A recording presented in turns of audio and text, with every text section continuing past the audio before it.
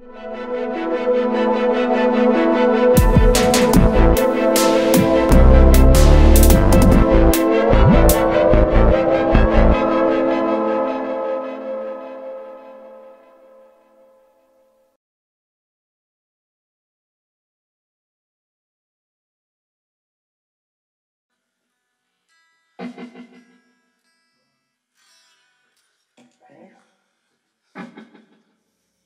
This is Citrus cloacus.